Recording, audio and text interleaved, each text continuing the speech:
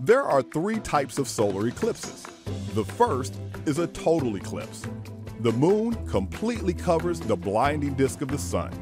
The sun's ghostly outer atmosphere, called the corona, springs into view, mesmerizing onlookers in the path of totality. The second is a partial eclipse. The moon crosses in front of the sun off center, leaving a crescent shaped portion of the sun visible. And the third is an annular eclipse. The moon crosses in front of the sun dead center, but the lunar disk does not completely block the sun. The edge of the sun juts out on all sides of the moon, creating a bright ring of fire. There are also instances when an eclipse is a hybrid between the first and third types, a total slash annular eclipse.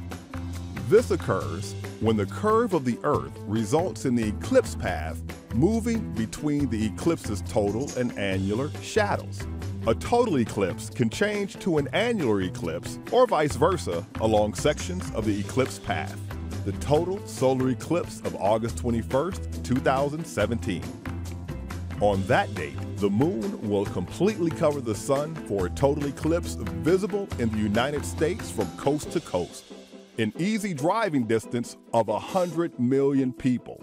If the weather accommodates, it should be the best observed eclipse in the history of astronomy. Let the countdown begin. Do not attempt to observe the eclipse directly with the naked eye. Observers still need to use a solar filter or some type of projection technique. A widely available filter is number 14 welder's glass or darker.